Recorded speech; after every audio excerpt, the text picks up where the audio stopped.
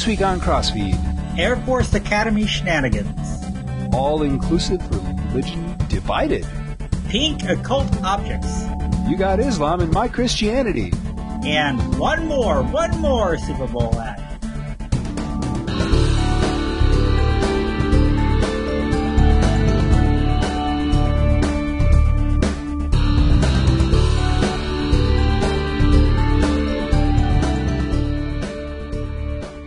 Hello, everyone, and welcome to Crossfeed Religious News. I'm Pastor Dale Critchley, pastor of Shepherd of the Ridge Lutheran Church in North Ridgeville, Ohio. I'm Pastor Jim Butler out here in beautiful Dedham, Massachusetts tonight, broadcasting from my office. Um, decided uh, not to go all the way home and just do it here. So, doesn't he look scholarly with all those books behind him? I have scrapbooking supplies behind me. I, I see windows behind you. Yeah, that too. You may dispense with the pleasantries, Commander. So, um, so how was your week, Jim? It was very good. It was very good. Um, just finished up our, our vision team meeting. We've got a team kind to figure out what our vision is going to be and some really exciting things going on here. So it's been a very good week. Kind Um, cool. My very good vision's Super Bowl. usually 2020 hindsight. Yeah, I, uh, that's, that, unfortunately most churches are. Um, but you know, one of the, the idea of a leader is you've got to you got to have a vision. You've got to have an idea where people are going. If they don't know where you're, if you don't have an idea where you're going, you're not really a leader. I don't know what you are. But- So uh, we're we're kind of constructing that, and now we're at a good place in, in our lives here. With me being here five years, to really talk about what what kind of vision we want to accomplish as a group. So Cool. I'm getting a hum. don't know why you'd be getting a hum. Your fan, maybe, or something like that. Yeah, I think it might be. Yeah, the fan is going on the computer. Okay, I'll try to filter that out. Uh, apologies to anybody um, if it gets annoying. So, Okay. so Super Bowl. Was very good game this year. Um, I, you know, I really had to sit there. I after watching because we talked about the Tim Tebow ad last week. After watching it, I'm just like these people had to feel feel like just absolute. Well, you know, it'd be good if they felt like absolute idiots. Then they started complaining that there's an under undertone of violence against women. Oh, because he tackled his mom. Yes. Oh man. Yeah, I, I couldn't figure out why they didn't say that about, you know, Betty White getting tackled, but you know, that, Well, that, you know, Yeah, you're right. that's okay. She's just an old person anyway. we don't care about them. No, it, it, that's funny because you know I saw it and I kind of went, "That was it." That was nothing. it was like it was kind of lame too, but you know, I mean, it was kind of like I and I the next day I posted on Twitter something about um the uh that Focus on the Family should send now and um and Planned Parenthood a thank you letter for promoting their ad so much because the ad didn't do a whole lot. And nobody would have even known what it was about if it weren't for the fact that now and Planned Parenthood made a big stink about it. Well, there was more than one pundit out there who thought that was their plan all along. Could be And if it was. It was pretty shrewd on their part. Yeah. If it wasn't, But they were- lucky. Yeah, but there was another ad that um, you know I I really got I really got a kick out of the ad, and that was uh, one of the Doritos ads. Uh, now that's uh, the three Doritos ads actually were all uh, amateur. They weren't um, done by a professional ad company.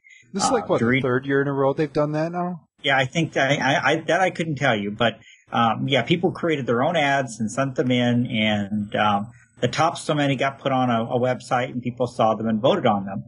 And so the one that had uh, the guy uh, wanted to be buried in a thing of Doritos and fake the funeral, so he'd have all the Doritos on him, and was watching the Super Bowl, and you know, crunched over, and it was a miracle. Which I again, I thought it was a very, very well done ad. Was actually done by a church group. It was okay. It was I. My complaint was, and I noticed this right away when when it when the thing tipped over and he fell out. There was no TV. I did not know that. I was like, Where'd the TV go? It like evaporated. I mean, I'm sure that they did that so that um, nobody would get hurt or anything, you know. But where'd the TV go? So See, that didn't even occur to me. But um, it um, it was done by a group out in um, um, California called Mosaic Church, um, and it's a uh, uh, um, Mosaic Church is a really creative church. There, A- Erwin McManus, I believe is the name of the pastor, and it's an it's a, a, a independent church. But it's actually kind of a mini denomination because they have like six or seven franchises. seven congregations: Pasadena, Whittier, downtown LA, Beverly Hills, Redondo Beach, and Chino and, and Berkeley. And one of their um, uh, goals of the congregation, one of their values, is the uh, creative use of the arts. And so this was uh, some people of the congregation that that uh, developed this. So it was really, I thought it was, I thought it was a well done ad. Um, you know, be kind of cool. But I think you'd have to be a church in Southern California in order to have the, you know, the, the, the producers and the directors and the stuff like that. You can put that something like that together. Yeah, I I don't know. You know, I had kind of mixed when I found out it was a church doing it, and I I saw the ad before the Super Bowl. Um, so because I heard there was a church doing an ad, I saw a link on Twitter and I went and checked it out. So it kind of spoiled it for me because I'd already seen it. But so I mean, eh, okay. Here's the question: Is it appropriate for a church to be doing uh, an ad for Doritos, um, just as a you know not you know they, they said well it sort of had somebody rising from the dead, but it didn't have much to do with Christian faith, right? And and yeah, it really had nothing to do with Christianity. Um, it's not like even there was a when the pastor was preaching the funeral sermon mentioned, you know, anything about Jesus or anything, at least from what I could tell, that wasn't wasn't really noticeable anyway. But you know, so you know, you talk about churches having vision and, and stuff like that, and to me it seems like I mean, as as fun commercial, you could argue about, you know, like the people using their gifts, um, uh, sort of from a, um, um, um, why am I drawing a blank on the word? I don't have sleep. Um, Concentrate, Pinky, concentrate. vocation. Sorry. um, you know, from a vocation standpoint, people have those gifts. You want to use those gifts. All right. But I would say, you know, are you using those gifts to glorify God or are you using them to line your pocket? And not that there's anything wrong with making money using the gifts that God has given you, but this is a, this wasn't just like a bunch of guys who are all friends from this church got together to do it. This was a church sponsored activity. Not that the church necessarily, it, it doesn't look like the, I mean, people pitched in their donations and stuff to do it, but this was, I mean, this was a church activity. And it just seemed kind of odd to, yeah, this is what my church is doing. Not, you know, spreading the gospel or anything. It's a money making scheme. Well, uh, you got to know a little bit about Mosaic Church, okay? This is a congregation, a series of congregations that do a tremendous amount of service and volunteering and tremendous gospel work. They really do. It's it's a you, you, it's a it's a really awesome situation. Um, matter of fact, a book that I'm reading right now um, called "The Externally Focused Church" and talks about serving, using your congregation as a servant uh, based ministry and asking how can we serve the community. That's their church's focus is, is um, featured in it for everything that they do. So this is just one small part. Normally, what this group does is produces short films that they use in the, the worship service to uh, highlight maybe a, a, a, a point in the sermon or the theme of the day or something like that. Like you know, but it kind of grew out of when they heard this contest. They thought one of the um, uh, members of the team his father was his grandfather was buried with with beer and cigarettes, and he thought it'd be kind of funny to do this commercial. So it kind of grew out of that. Um, and then they kind of said, you know, we think this would be fun to see if we can, you know, to to to, to um, you know, get this in and let's get it filmed and everything. So it, you know, this this group really is more much more worship oriented normally, but this was kind of an extracurricular they put together. Just a coffee kind of break kind of thing. Yeah, just you know, just kind of a, something that they they, they did. Um, I thought it was very well done, and I was really impressed to see that a you know uh, a church group had had done that. I think you know, uh, uh, I think it'd be a lot of fun to be you know, involved with something like that. Um, okay. All right. I'll give it Yeah. to him. As lo- you know, as, as long as it's a, a divergence from the norm and not, you know, sort of typical.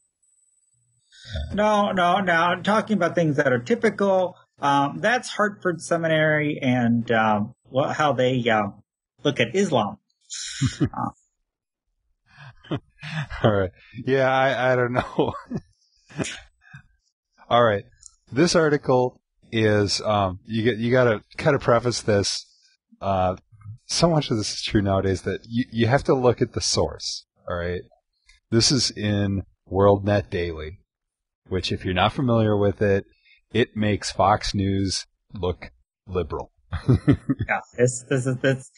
Every once in a while, you hear the pejorative right wing. Well, this this would definitely kind of earn that that that pejorative statement. Um, uh, this is you know kind of the flip side to um, Slate, Salon, Huffington Post. Except Huffington Post is really a series of blogs.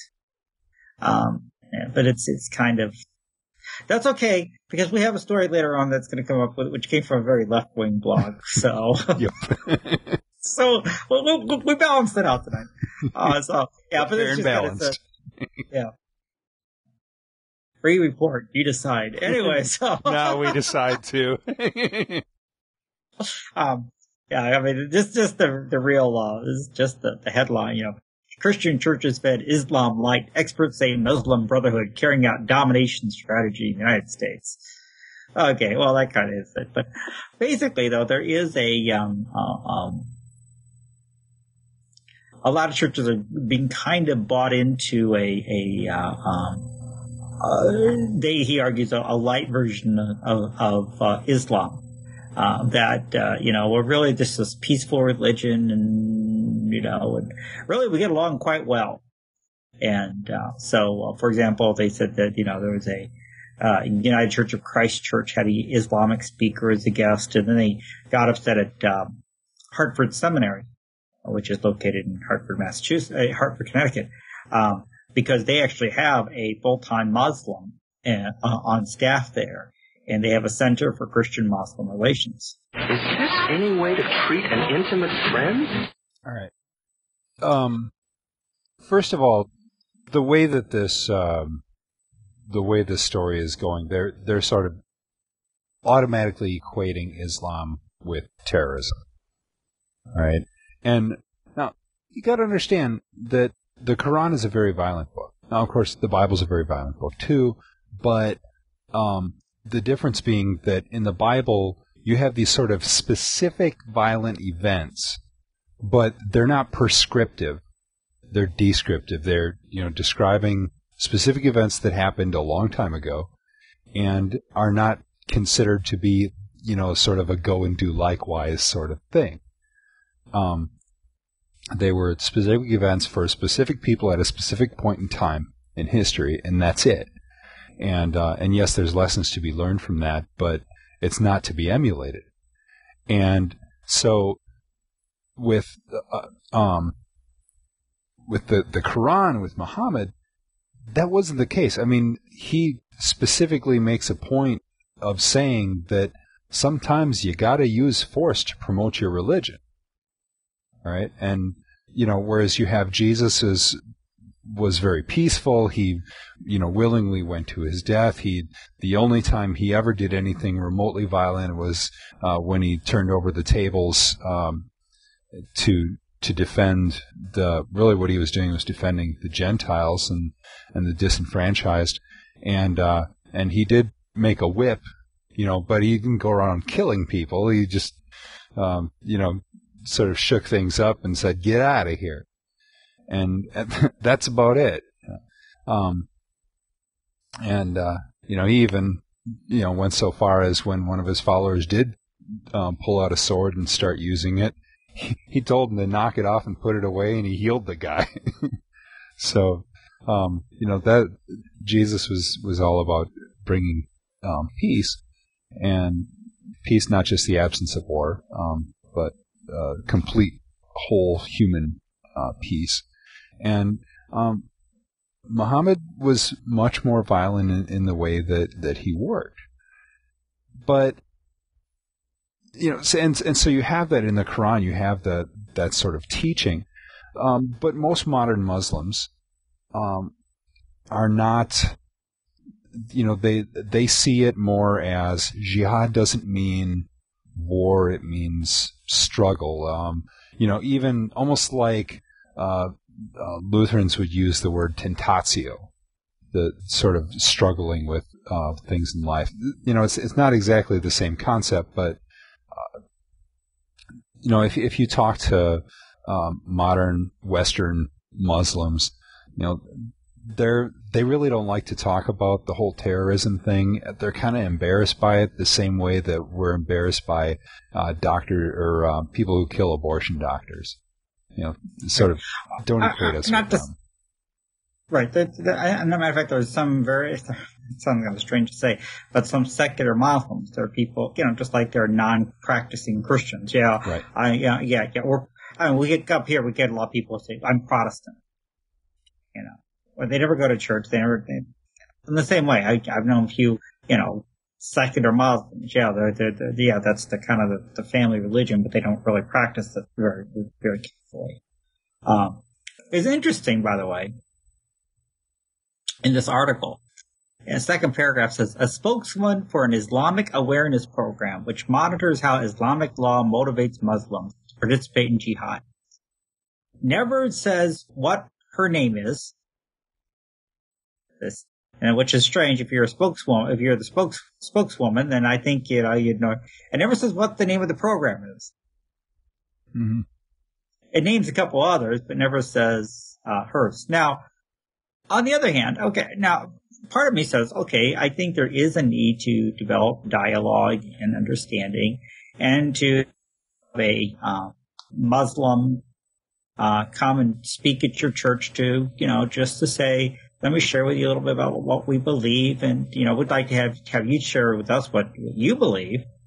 Um, I think could be, you know, a very good thing and can actually open up a door for the gospel. Um, what's the scary part is though here is that, um, you know, uh, Hartford Seminary is not interested really in sharing the gospel with Muslims. They're just interested in dialogue. Or the other one is, is, is again, this, the spokeswoman, who is this mysterious spokeswoman here, says, um, you know, St. Mary's Episcopal Church in Manchester, Connecticut invited a Muslim congregation to use St. Mary's Church for their Friday prayers. Yeah. Um, yeah. The secretary would not comment on the actions, but a report in the local journal Inquirer reported the development, noting the congregation had been pleased to find ways to work together.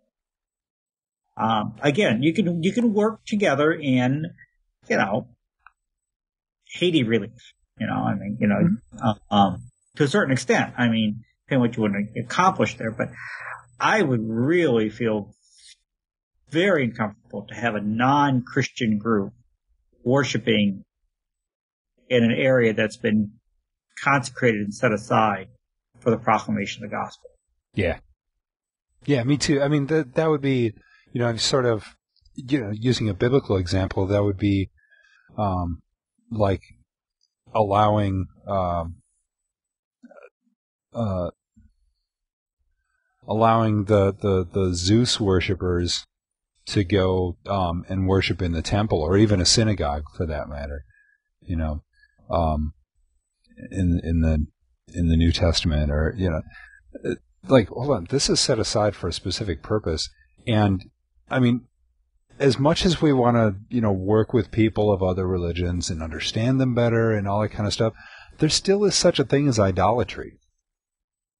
Right? It's not a, it's not a popular right. word nowadays. But I mean, uh, there is a flip side to this, you know, to, just to highlight real, you know, to mention, you know, because, um, you know, I mean, you know, we, churches often begin in school auditoriums, uh, or in, um, I've known, uh, uh, even odd, uh, uh, uh, Oddfellow halls, uh, which is a, a lodge group up here, and some other places that aren't, you know, that are kind of, you know, okay, yeah, you know, some people might even think, yeah, it's a little iffy in my, in my mind. Um, but I mean, but you're not necessarily, um, you know, you're, you're, you're, you're dedicating it that space for the hour that you're there or the couple of hours that you're there. Um, you, but you know, something that you, you, you know, when we dedicate a church, we're specifically saying this is set aside for the worship of the triune God and for the proclamation of the gospel. I think that's a little bit different. I, I just, that made me feel very uncomfortable. yeah, yeah, Um, you might as well just set up a golden calf in there. Yeah, it's pretty much the same thing. Well, it's it's only in there for the hour. Well, it's still a golden calf. you know. Well, uh, the other thing I have to laugh about this article though is that the effort to co-opt Christian churches includes an attempt to water down Christian theology. And it's talking about this um, Muslim banner, which says Jesus was a Muslim, um, and the Council on Islamic American Relations CAIR has information about Jesus and the book Jesus, Prophet of Islam. Um, and they had a sign, Islam, the way of life of Abraham, Moses, Jesus, and Muhammad. Um, you know, and this guy at the end says, you'll never hear a Muslim say Jesus is the son of God. Okay. If you read the Quran, I, I'm just reading this going, if you read the Quran, Jesus is listed as a prophet. Uh, they quote Jesus when he talks, you know, uh, I'm leaving, but another one is coming now, you know, who is, who, who's going to lead you in the further truth. We understand that to be the Holy Spirit. But in Muslim theology, the Quran, they quote that and they say Jesus is prophesying the coming of Muhammad. So yes, they do believe that this is an honest belief by them. Yeah, this isn't some. they're they're not trying to you know make uh make make uh Christians into Muslims or you know that kind of thing. I mean, I, I suppose that's what they want, but um, th- this isn't some scheme they came up with. No, they they really do believe that. They have always believed that. Right. I just, I just at this. eh, So they call him Isa. yeah. So, um, So and they, and they believe that I, I I read this somewhere that that he was actually a greater prophet than Muhammad. He just wasn't the last prophet. Muhammad was the last prophet, and so it's sort of his final uh, his Muhammad's interpretation and that is final because he was the last one, and so he interprets all those that went before him. But yeah, they Jesus they you know they uh, deny the resurrection, or they say that Jesus didn't actually die on the cross; he just uh, swooned. Um, Jesus was nowhere near the cross. Some of them would say it was Yeah. somebody else up there. I mean, yeah, they they just can't understand again. But you know, they couldn't. How could God allow His prophet to die? I mean, they, for them, that's just that's Right. a horrendous thing. That that's something God would never do. But you know, we would say that's a different Jesus. You know, your understanding of who Jesus is, that's just that's not when when St. Paul said it, you know, when somebody else comes along with a um uh, uh different Jesus than than I've preached to you, even if it's an angel from heaven, you know, don't believe them. Right. So, Uh, oh yeah, Muslim too. Actually, I would say you know because when they say about uh, you know how can God do that, that's what Paul says. The cross is the stumbling block. You Right. know, uh, actually, you you want to really understand what the people of the first century understood by the cross and why that was so hard for them. The idea that you did, you know this crucified person brought salvation to the world. Uh, it's really very similar to the, the, the Muslim mindset, and that's really why it's it's such a stumbling block. yeah. Um, so speaking of, you know, uh, uh pluralism, which uh, which pluralistic story do you want to do next? We've got a few of them. Uh, let's go over to the Air Force Academy. Okay. Um, since we're talking about uh, Christians and, and other religions and their income, I'll tell you this This is a this is called veteranstoday.com.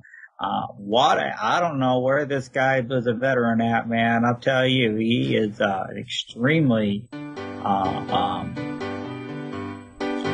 um, uh, left wing um, uh, blog here, and uh, I mean, not uh, does not like uh, does not like Christians at all. Um, but anyway, now there was a. I, uh, did we report on this? Um, no, but it was up on the Crossfeed site that the Air Okay. Force Academy. We a while back we talked about there were complaints. This was like a couple years ago. There were complaints about the fact that the pagans um, had a religious uh, location on the grounds of the Air Force Academy. This is in Colorado Springs. Um, but it was like way on the outskirts of the property and it was, you know, it was, it was really kind of a pain to get to go out there. And they said, oh, you know, the, you got your, your Protestants, your Catholics, and, you know, all these different Christian groups. They've got their stuff real up close and everything, but we've got to go out into the boonies. And, and so, uh, so, okay. Well, uh, there, there also was the issue too that uh, there was some complaints that there was uh, a, almost an evangelical intolerance at the Air Force Academy. That a lot of uh, evangelical Christians were in very high positions, and so they were very, in, you know, uh, you know, kind of almost enforcing a, a Christian orthodoxy there. In certain respects, was a complaint they were having. Anyway, so a few weeks ago, they um, the Air Force Academy put up a outdoor worship area for the pagans, uh, which apparently was very close to the uh, for the Wiccans and other Earth-based religions. Apparently, pretty close to the chapel, and it was just really just a ring of stones where they could do whatever it is they were going to do. Um, and um, then somebody took a large wooden cross and stuck it right in the middle of it. Right. Now they're kind of comparing this to um they're saying this is this is like the equivalent of if if someone had gone into a um into a, a Christian chapel and you know spray painted um something on it. Or uh, put uh, Nazi symbolism up uh, on, in the Jewish chapel. Yeah. All right. Um okay. I would say no, it's not. This is the equivalent if if somebody went and stuck a menorah on top or uh, um you know, this isn't uh, uh, uh directly attacking that particular group. I mean, it it is but not in the same sense. I mean, it was it was a cross made out of a couple railroad ties and um you know, it was easily removed and there was no actual damage done per se. All right. And I looked at this, and, at first I was really appalled by it. Like, oh, what do you, what, you know, nothing says Jesus loves you like here. I'm gonna, you know, come right in your face and and and be obnoxious about it. The thing is, most people didn't even know about it because as soon as um as soon as it it was found out, they got rid of it right away. But um, you know, I'm looking at this and I'm going, all right, this is the Air Force Academy. These are students. These are, this is just some stupid prank. You know, Well, I don't know. It it could be that. It could be somebody, you know, kind of, you know, saying, you know, making a real statement. It could be something more. Uh, but Shut up! Oh, come and see the violence inherent in the system! Help, Why? help! I'm being repressed! my que- I, I, I, how do you handle something? Okay. That's, that's, that's often an issue. What's the best way of handling something? And, um, I can handle this. Have a nice day.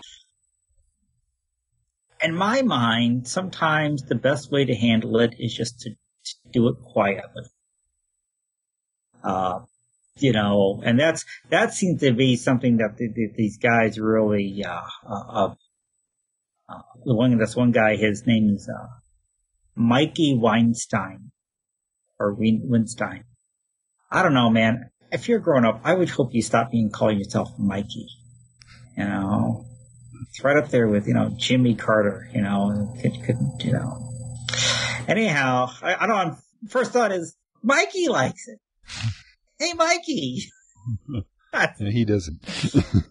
Yeah, but anyway, that's the first thought that that, that, old Lifesaver commercial. But anyway, uh, the guy he has the Military Religious Freedom Foundation, and he says we've been making great progress at the Air Force Academy. This is clearly a setback. It's rhetorically addressing Academy officials. Weinstein said Tuesday, "It's been two weeks. Were you going to get around to telling them about this horrible thing that happened, and why haven't you?" You know what? It's probably better just to it, it could easily be removed. It wasn't something that was permanent. Yeah, if somebody had spray painted a cross on there, or had spray painted over, you know, the circle, or something like that, that that, that was going to be some real removal. And and I think, yeah, then then you need to address it. But uh, you know, uh, if somebody, you know, if you can take care of it, qui- if it's something you can take care of quietly, and I would say this, I would, I would think I would be this would be true even if I came, uh, you know, my last church, uh, my son and I walked in one morning and, um, we looked up and noticed one of the clerestory windows up above had a hole in it. No, no, actually we walked along the ground and we found a bullet on the, the floor. And we looked up and one of the clerestory windows had a hole in it. Um, somebody had, you know, shot a bullet through there. Uh, apparently a random shot or something. So we looked around and see if there's any others that we could find and weren't. weren't. It, it wasn't a very big hole. So I just went over and, you know, we just, we just swept it up and I just told the trustees very quietly, uh, somebody shot a, a, a, section out up there. We're going to need to have somebody come and repair it. Uh, the shards are in there for the insurance company and stuff. But I saw no reason to stand up in front of the congregation and make a big deal out of it. Right. Well, you know, and and that's the thing. You, you make a big deal out of it, especially with something like this. Isn't that just going to encourage more people to, you know, sort of copycat the whole thing? I mean, if you just sort of, you know, get rid of it quietly and stuff, and then don't give, you know, whoever did it, don't give them the attention that they're looking for. You know, I mean, they're whoever it was is acting like, you know, like a spoiled child, and so you know, what does a spoiled child want? Attention. So Right. don't give them the attention. I mean, that's sometimes it is, but sometimes it is the best way to handle it. Just don't give them the attention they're looking for. so yeah, was this was this a really stupid, mean thing to do? Yes, absolutely. Was it right? No, absolutely not. All right. It's this is really, you know, I mean, anybody with half a brain knows that. All right. The question is, how do you deal with it? And so, um, so that's really the the issue at hand here is what's the proper way to deal with it. They thought, let's just, you know, quietly take care of it. And obviously, if it would keep happening, then they'd have to do something about it. You know, but there was a this was so far at least a one time thing. Well, kids, that's enough for one night, eh? Right. Yeah. Yeah. And yeah, that's the other thing. If it happens again, then I think it really does need to be dealt with a little bit more. Um, but, uh, yeah, my other favorite part here is that, uh, good old Mikey, they, they had a, they had a, uh, said they discussed it at a staff meeting and Mikey didn't not attend the meet. Weinstein did not attend the meeting, but he said the faculty member who did described the official reaction as tepid. One faculty member who attended, but asked not to be named because of sensitivity of the matter, reported Weinstein's characterization of the meeting. I think, you know, there's a, look, it's not done again. We think, you know, taken care of quietly. We'll have to see where things going. But, um, you know, yeah, let's just kind of get, uh, uh, uh, uh, you know, oof, that, that website's driving me crazy. Um, yeah, yeah. You know what? have- You know what would really help, man? If they'd had a pink cross. I have no idea what that meant. All right. Um, Ouija boards. There is evil there that does not sleep. Uh, we've got. All right. Hasbro's been making Ouija boards for years. What do you do with witches? And what do you burn apart from witches for, witch age? Okay. Sorry, the you froze for a minute there. So did you. uh, but uh, so Hasbro is coming out with a pink Ouija board. Um, uh, with pink cards and a little pink uh, dial thing there, and um, uh, then this is obviously being uh, um, marketed to tween girls. Something they've been around in some form or another. Um, there's some debate about the uh, the the history of them. Um, they at least date back in some form or another to the 18th century, um, possibly much older, but there's some debate about whether the stuff that's being talked about is accurate and whether that's actually what they're talking about or not. Um, Hmm. Audio's getting really bad now. Um, sounds like a train. really, it's, it's the fan. Fan just kicked back on again. Uh, I thought maybe it was the spirits. No, here, maybe I'll, I'll move this up closer to me. Don't be too proud of this technological terror. a little better. All right. So Parker Brothers, which is a division of um, of Hasbro, is uh, making or has been making uh, these things for a while now. Years. Yeah. And but the the pink one is fairly new. It's not brand new. In fact, Toys R Us is phasing it out. Um, you can't buy it online anymore from Toys R Us, and uh, they they said that they still have a few in stores that are they're basically clearancing it. Um, But but th- that's the pink Ouija boards, but they'll be selling regular Ouija boards. They have been. I mean, it's been it's been uh, uh, Ouija boards have been around since 1967. mhm. Um, you know, here's the question that you know, you know, people try and deal with: Are Ouija boards actually a cult, or are they a kid's game? Yeah, and that's that's the whole question. And of course, Hasbro's going to say, "Oh no, it's just a kids game," you know, because they make money off of them. They're twenty bucks a pop, and all it is is a piece of plastic and a board. I mean, they're insanely cheap to make. Doesn't have lots of pieces like Monopoly or something like that. right? And, and and you know, yeah, and no, kids are you know they're the ones pushing it, and there there's nothing really you know You're the margarine of evil. going on here. The other side is, and I've heard a, a lot of Christians say this, um, that it is a, a um, portal to occultism. hmm You know, here's the thing. I know people, I mean, personal friends of mine, who have used them by themselves and would ask them questions. And the question, the answers that they would get would be contrary to, um, contrary to Christian teachings. Um, but also be able to predict the future, like, you're going to get a letter from this person. I mean, I a friend of mine was using one, and he uh, he asked he asked it if he was going to get any mail, and it said, "Yeah, you're going to get a letter from Dale," and uh, and he got a letter from me the next day, and he had no idea that I was sending. And you could just, oh, it was coincidence or or whatever, but um, it was kind of you know there was just some stuff that happened that just made him go, hmm, you know, something's not right here. And Maybe, maybe there's something more to this stuff. I mean, okay, I'm a type of person that would say better safe than sorry. Right.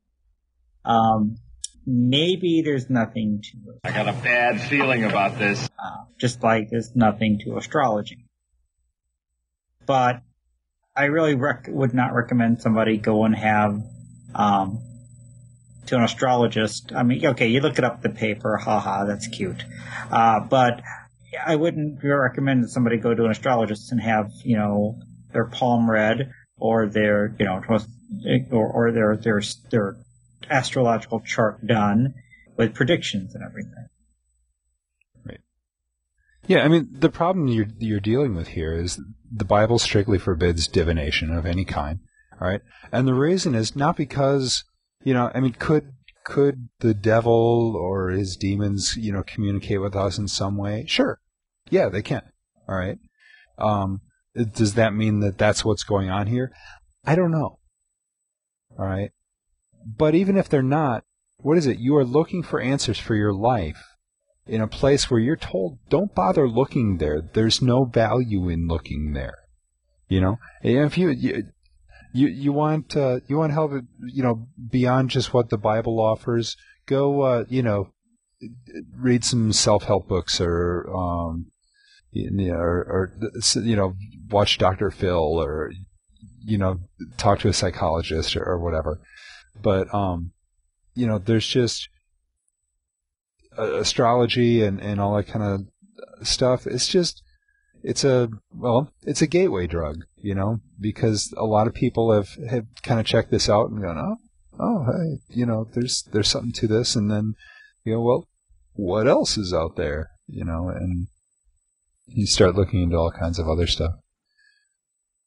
So, in fact, I have uh, have a friend who is a, a medium that would spend time talking to spirits, and she refused to use a Ouija board um, because it was she considered them too dangerous.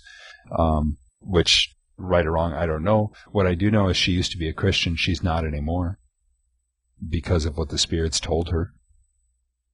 Now, was that actual spirits talking to her, or was that just her imagination? I don't know, but you know, the devil would certainly like to um, to convince you of of various things. You know. She's not one of these people that has a T-shirt that says, um, "The voices inside my head tell me that you have a problem." now she ended up, uh, you know, embracing New Age religion. So, so the conversation with spirits. Mm, anyway, so uh, I mean, you know, um, yeah, I would. Uh, I don't know what to make out of, you know, Ouija boards. Um, I mean, you know, to say, you know, um, Hasbro says, you know, it's simply a game. It's fun. It's for entertainment, nothing more. We don't make any claims about it. Um, but I would go into this just as better safe than sorry. Uh, that we just should not even, you know, play with ideas of divination and, uh, um, you know, that kind of stuff uh, the stuff that's cult, cultic. Uh, but just stay away from it. Uh, now, some people, the guy says, one guy goes, well, how's it different than Harry Potter? Well, Harry Potter is by its notion a make-believe world. Yeah, it's nobody's it's going to have a, a, magic wand. They're not going to actually be able to do anything. Um, you know, and I can't think of any place. Well, yeah, they do. They do have their, their you know, they, and to a certain extent, it's the uh, uh, the world is kind of a spoof of the um, typical thing. I mean, the students all walk around in robes and black hats and ride broomsticks. I mean, come on, that's you know, that's kind of a right. Uh, Has nothing to do with you know Wicca or anything like that. Right. So historic, you know, witchcraft practices and stuff. Well, right, it, yeah. it borrows ideas from it just enough to sort of make the connection, but right. Well, as one friend, one Wiccan friend of my daughter's once said, is uh, Harry Potter is to Wicca as Barney is to dinosaurs. Uh, but uh, which I thought was cute. But on the other hand, uh, but you know, I wouldn't still I wouldn't say let's get involved at all. Stay away from uh, this stuff. So, and uh, obviously being eh, pink Ouija boards. Hmm. Okay, I don't know what to even do with this last one. You okay. picked the story, man, so you yeah. can you. All right. I, I, I, had to do a little research on this to really figure out what's going on. All right. The, um, the Sikh religion, S-I-K-H, right, is, um, the, the thing that it's, it's most known for is that it's, it claims to be all inclusive. That you can be, um, you can be Christian, you can be Muslim, you can be Jewish, you can be whatever, and still be included in the Sikh religion, right? and um, it was founded uh, partly in reaction to India's uh, caste system. I looked it up. I, I, never knew how to pronounce it, so I finally looked it up. It is pronounced caste, a, even though it has silent e at the end. Um, and uh, and I did not know that. It is uh, well, and, we've talked a little bit about Sikhism. I don't know a lot about it. Um, I haven't known personally um, any Sikhs in, um, but uh, there, you know, is the one thing that I've always heard about it is that it's very inclusive, right? Well, now there is a new offshoot of Sikhism called uh, Ravidassia Dharam. It's not new, and it's been around for a while. There's like 100,000 um, adherents to it. Um, but it when they sort of officially split off from the main Sikh uh, group, this caused a pretty big uproar.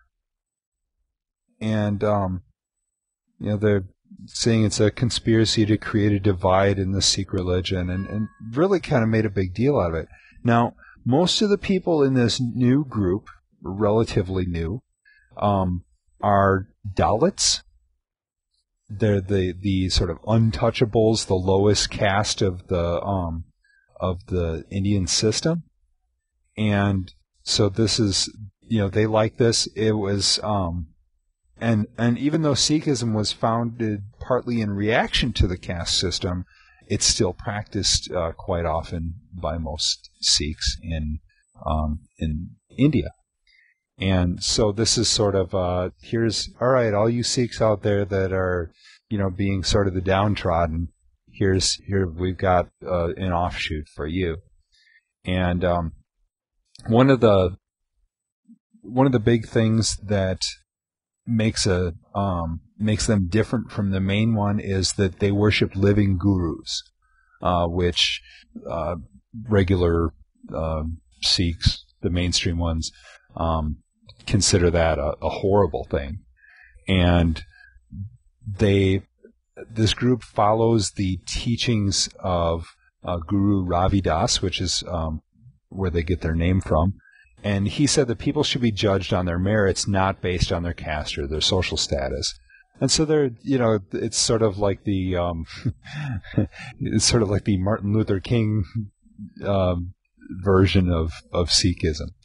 And so, although he wouldn't say based on their merits, he would say that um, that everyone should just be treated equally.